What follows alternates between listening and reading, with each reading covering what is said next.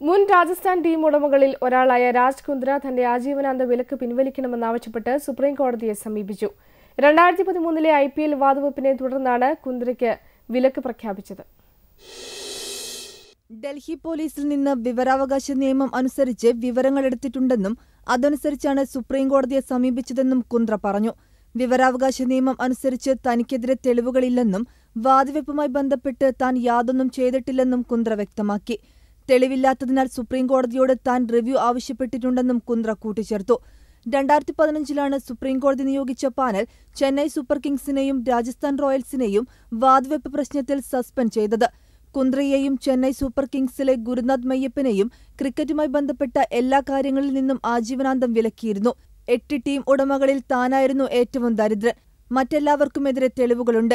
തനിക്കെതിരെ തെളിവില്ലായിരുന്നുവെന്നും നിയമവ്യവസ്ഥയിൽ വിശ്വാസമുണ്ടെന്നും കുന്ദ്ര പറഞ്ഞു. National desk जीवन